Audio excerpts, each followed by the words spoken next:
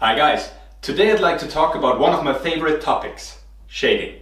And first of all, there's different forms of shading. This can be outside shutters, like shown here, which are outside of the window. This can be curtains inside, this can be zip screens, this can be roller blinds outside, the plastic ones which just go down. And these guys here, which what you see here, they also have an angle for the slats. And any form of shading can have a huge impact on the energy you consume in a house, especially as this helps you with your cooling system. So what do I mean with this? We have in a room like this, we measure the temperature for heating and or cooling anyhow. This is then managed by the intelligent room controller block. Okay, so this can, the temperature can come from the touch, from a third party sensor, from a room climate sensor, tree or air, doesn't matter. So he decides, do we need heating, do we need cooling? And then there is for each blind, one automatic blinds block. Okay, so this would be the balcony door. There could be more windows and for each window and for each blind, you would then end up with one individual shading block. Okay? So, how does automatic shading now works? The intelligent room controller at a certain point asks for help. Hey, all the shading blocks in the room, can somebody assist me with the cooling because my temperature is overheating? Okay? And then every individual shading block, just imagine two more windows on, on these sides, then everybody is thinking, hey, does it help if I shade now? So is the sun at this shading or not? That's why you have one very important parameter, which is the direction. So every blind gets the direction, north, south, also something in between, in degree. And then we know from the astronomical position that's why you also have to enter the location where your mini server is at. So we have the geo coordinates. So we know exactly where the sun is at. We also know the height of the sun, which is later important for setting the, the angle of the slats if you have a blind like this. And also the blinds would then follow the sun. So imagine the sun goes up over there, the room gets warm, which is fine. So let's take the free energy for saving heating costs, especially in spring and autumn, but when the room is at a certain temperature, and this is in summertime, my comfort temperature. I want 21 degree. So at 21 degree, the room controller shouts for help. Please help me. And then this blind knows, okay, it's me that goes down now. And I also set the slats to the certain angle. So it's still bright in here, like, like now. Still sun comes in, so it's not fully dark, which is uncomfortable, but still light comes inside, but most of the heat is blocked outside. Then, so this blind is down, then at a certain point both sides can be down when the sun is at the corner, and then this can go up again. So we follow the sun with our blinds automatically. Okay? What else can we do with the shades? Um, we can say, for instance, in the morning, you can use the shading to wake you up. So, especially in summer when there's actually light outside when you stay up, you can then use the touch night light, for instance, or the alarm clock function block to wake you up, to dim up the light slowly, to open the shade slowly, and that's pretty cool as well. So in the morning you can also then say when the sun goes up, again astronomical position. When the sun goes up, open all the uh, the not the windows, the slats, all the the blinds, sorry, in the whole house, maybe except the sleeping rooms. Okay, and what about night? Do you still have neighbors, guys? Well, I do. So at night, when the sun goes down, I would like to have privacy mode. So all my blinds or curtains close automatically, really when the sun goes down. Okay? So that's in theory how the whole sh uh, shading system works. Now let's talk about how this is done technically. So this is the most advanced form of shading to control because just like imagine a curtain, it just goes open and close, right? And this also has the angle of the slats to set. So how can you control these motors? There's different ways. The first one is to use two relays for up and down to control any kind of motor on 230 or 110 volts. Okay, two relays, centrally wired back to the relay extension or mini server. As you can imagine, for several windows, several blinds, you have a lot of cabling going back. I prefer to go with either the shading actuator on air or the Nano 2 relay on tree. Because then you only need to come with the power, high voltage, 230 or 110, and then you go onto the, uh, onto the motor with the Nano 2 relay or with the shading actuator, and then you go from one shade to another. And the cabling is very simple, okay? And if you calculate everything together, really, like wiring, the effort, the mistakes probably happening if you have like this cable string in the cabinet, the huge cabinet, the relay extensions and everything, you probably end up better with going the decentral version. So either just with 230 from one to another and going on air, or with 230 and the tree cable for the bus version. Okay. Then we also have other products to control 24 volt, um, typically inside uh, curtain, no, inside blinds, roller blinds. Um, uh, just a very recent product, I will uh, put it here because I forgot the name.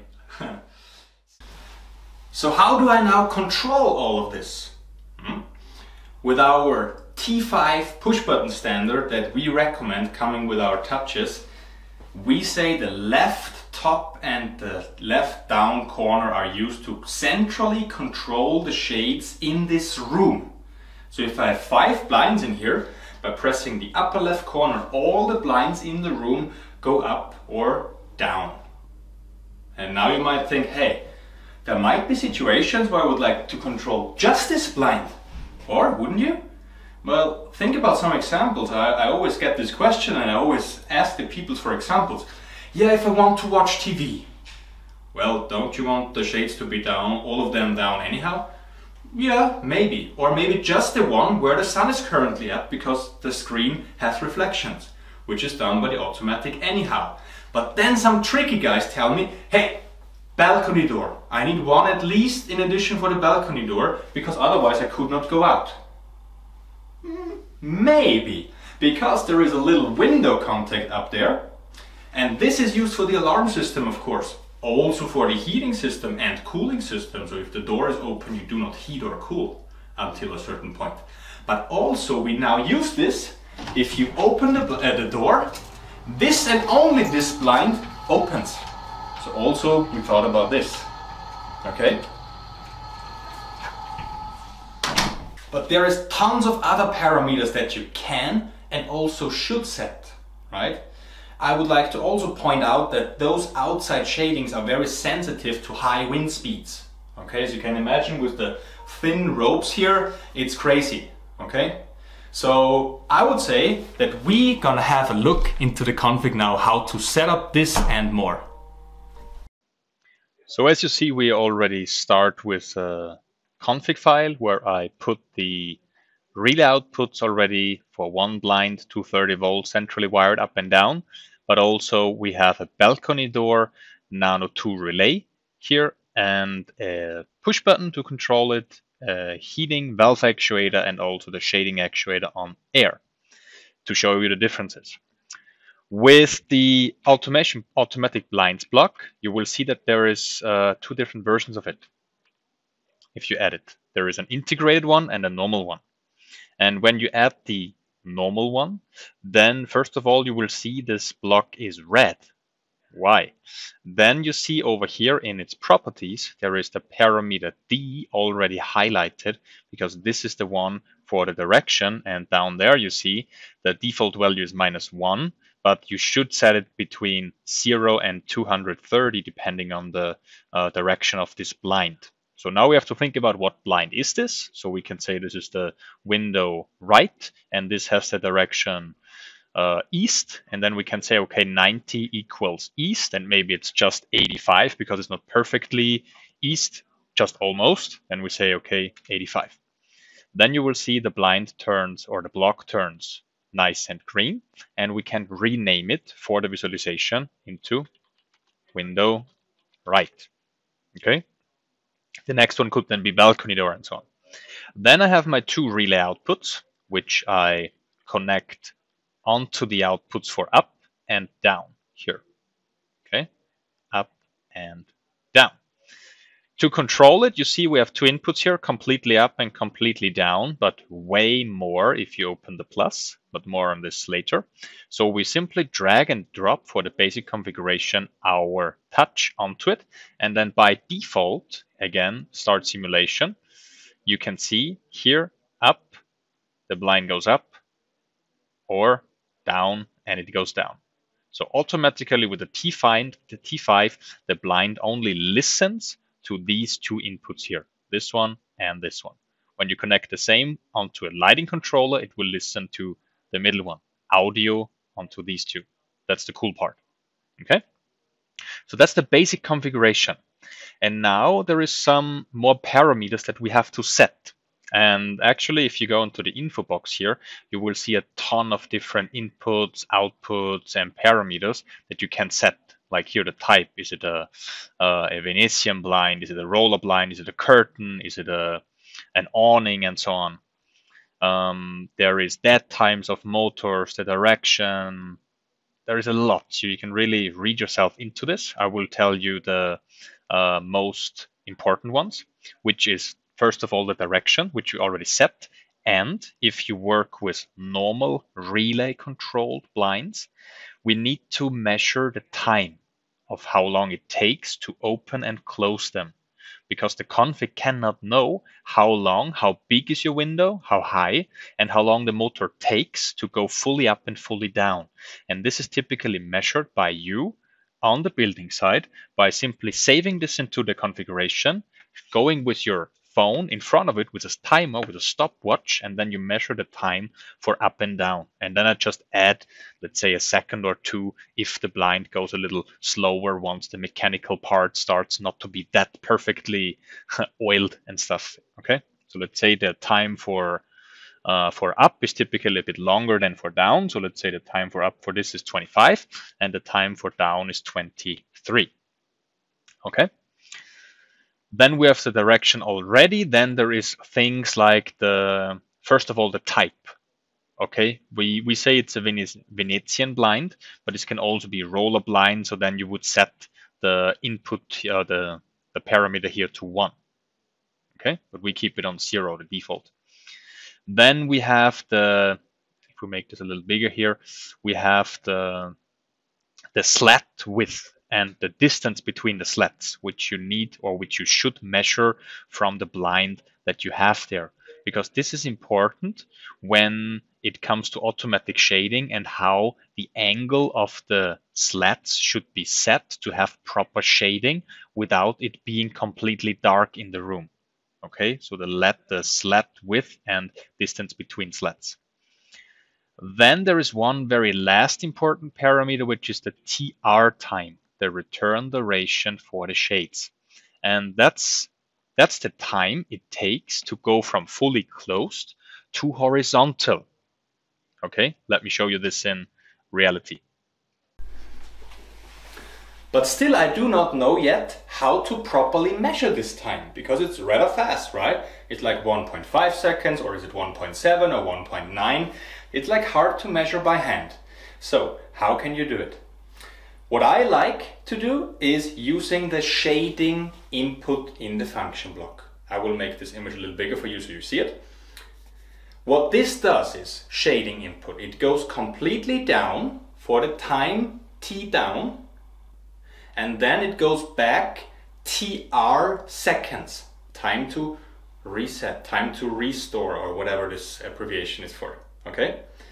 So if I now press this, in the app. And you see now the slats are like this. Let me bring you closer, guys.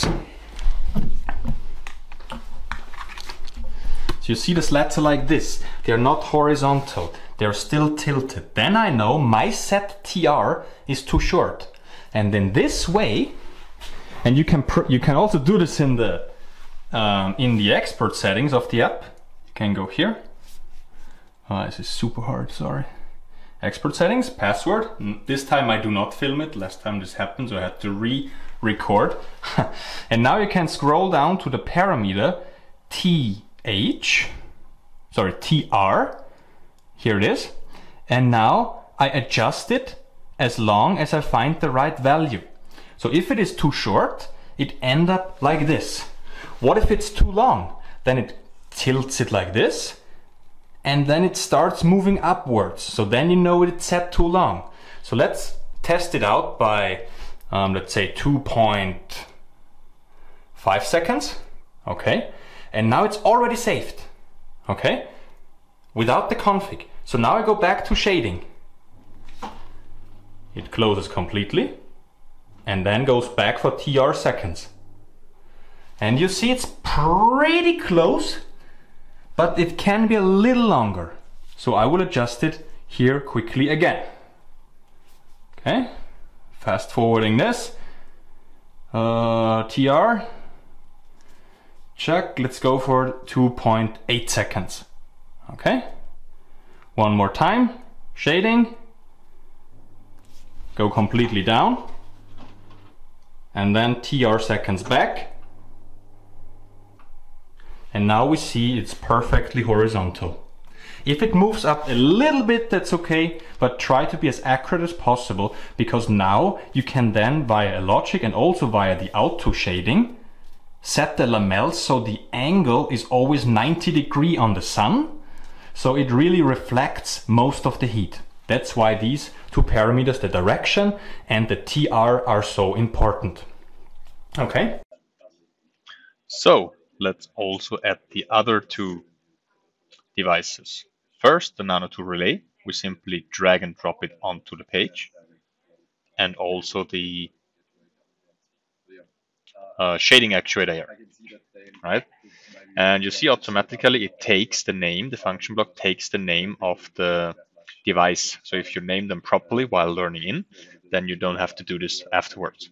And you see the difference between those blocks here, this one and these two, is it has no outputs, Q up and Q down, because this is automatically taking it from the device. Okay.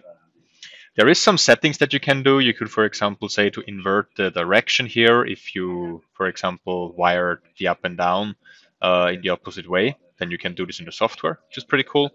And also the both devices, tree and air, can automatically set the drive times. So what we had to do here with the T up and T down with a stopwatch, we do not have to do here because we measure the current and we see from the beginning current. And so you go once completely up and completely down via the app or with the push button, and then they know the times by the current measurement.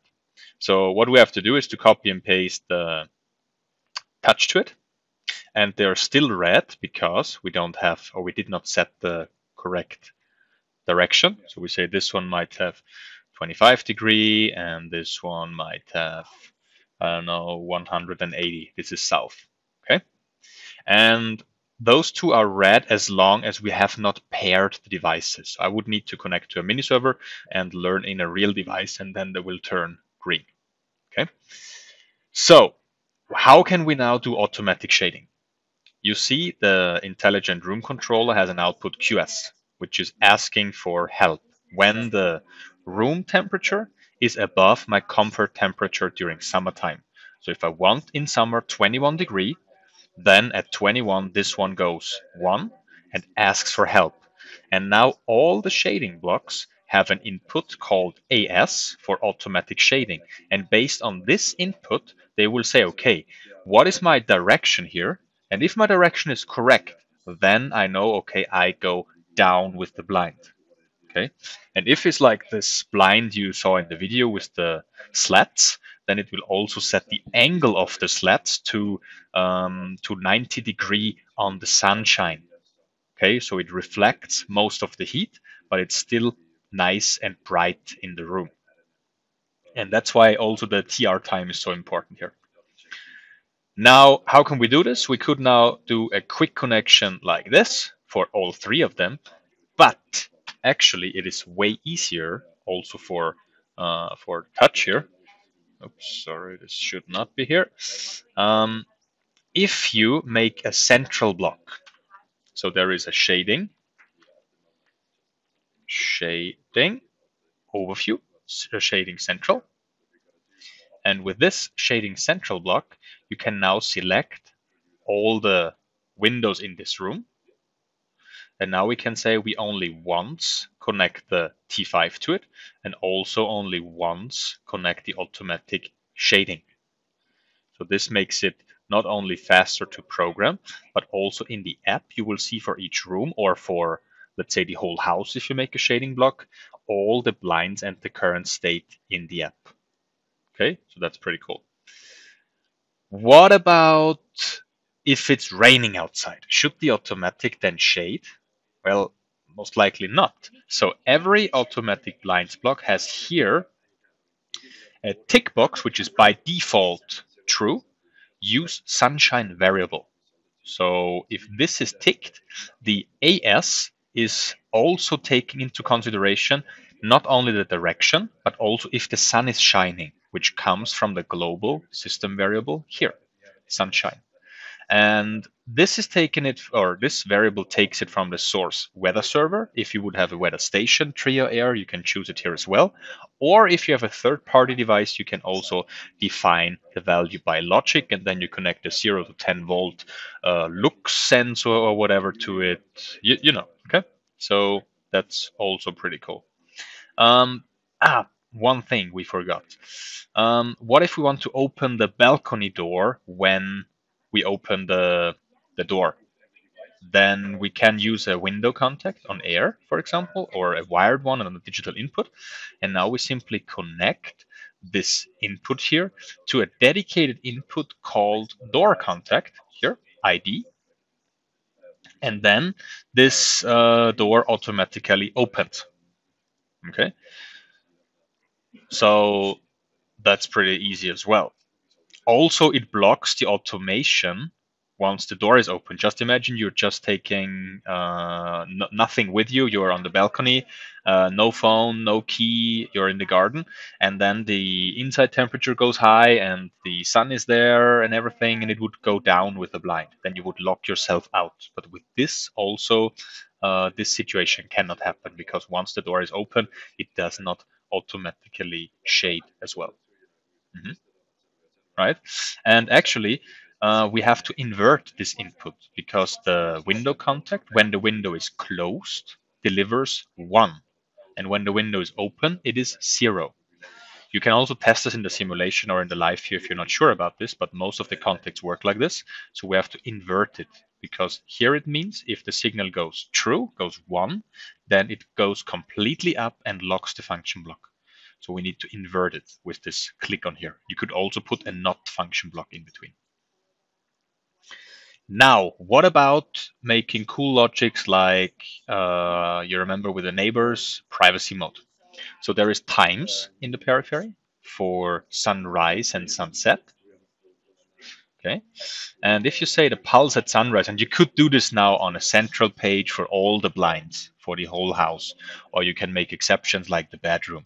But just to showcase you here, I would say for sunrise in the morning, I go completely up, and for sunset, oops, for sunset, I go completely down automatically. So when the sun goes down, when it gets dark, then all the blinds in the house completely close, except maybe the one where the window is open or where the uh, the door is open, balcony door. Okay, again, so you cannot lock yourself out. Okay, and this is in principle how automatic shading is programmed and is working. But there is various other parameters in here. You can choose what should happen after the shading period, what what happens here. Um, should the blinds fully open? So after the the sun is over this window, it's gone on this window. Should the blinds go up? Should they go down? I once had the case where the customer wanted, for security reasons, that the blinds are always down, not like fully closed, the, uh, the slats, but um, the, the blinds were always fully closed.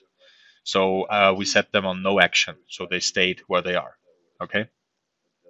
Then you might have dead times from the motor. When you change the direction of the motor, there might be delays from the motor itself, so you can really fine tune it. There is also um, parameters to say, okay, when the direction of the window is not perfectly 90 degree, but we wait a little longer, or there might be some obstacle like uh, a wall from a house here, as you see on the window. Then you can even say here um, the shading should start um, with the DT angle and not that 90 degree. Okay, so a lot of stuff can be done in here. And if you have any question on, on these blocks, we're always glad to help you because we know it's a it's a huge topic and I think it's worth it because shading has a huge impact, as I said, on the climate of the room. And that's just a brilliant way and a cheap way to assist the cooling system and also the heating system in winter. Because when you have the roller blinds or the shades down at night in winter, then we we can save some energy in winter as well. And last but not least, let's quickly go on a central page. What if the wind is high. So we need a wind storm protection. Therefore, let's quickly add a weather station tree where we say it's on the roof, it's outside. Okay. So we have here the wind speed, the temperature, the storm warning, and everything. So this one here, this value would be the real wind speed. So from zero to whatever kilometers per hour or miles per hour, depending on your config setting. But the weather station also has a dedicated storm warning, which is digital. So here you can already set the storm warning speed in kilometers per hour, which is 35 by default. And this can be taken here. And then this is all this would be the same as you would say the wind speed is greater than 35. This would be completely the same, but it's just faster. Okay. So these two logics are completely the same. And now we can say, if the wind speed is greater than 35, what should happen? We go onto a central function block on a shading central, which has all the blinds in the whole house, so also living room, bathroom, and so on. And it has a dedicated input for uh, safety shutdown, SP. And what SP does is, as you see here on each individual block, the SP input puts the shades into the security position, which is by default up. You could change this to default close it. So when a storm is coming, the blinds go down. This could make sense if you have roller blinds and the roller blinds are insured.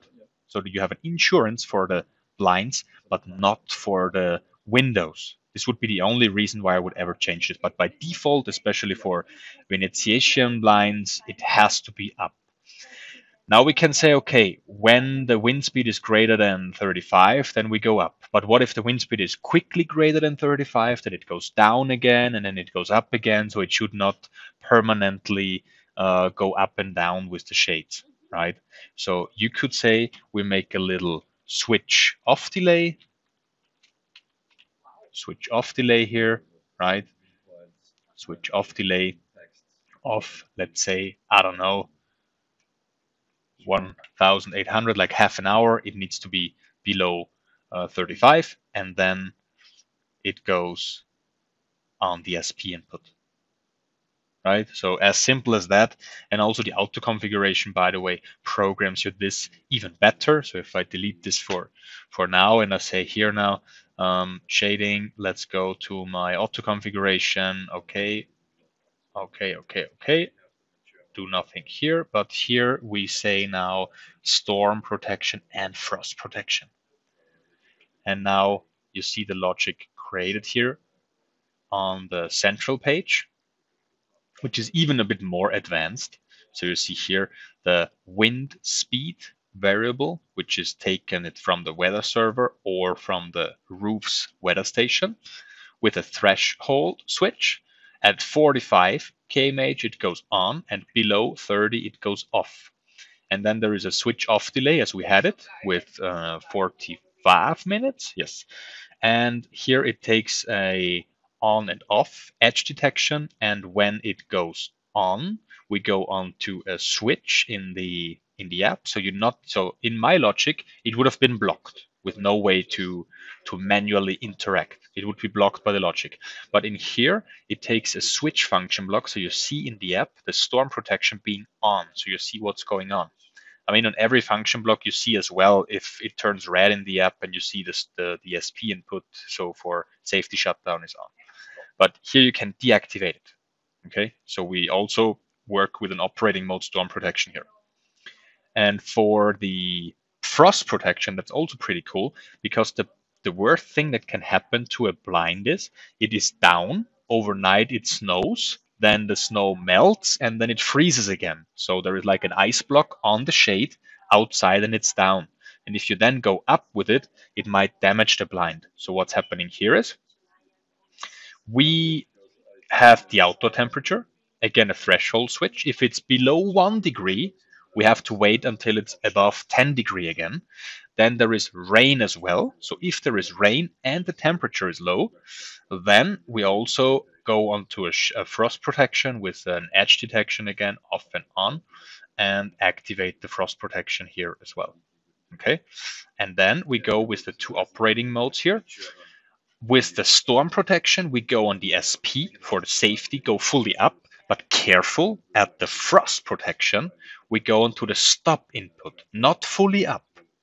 When it's frost protected, it needs to stop. If it's down, it needs to stay down because otherwise it would damage the blind. So this was it for the shading video. I hope you enjoyed. If you have any questions, let me know in the comments down below. And I see all of you in the next one. Bye, guys.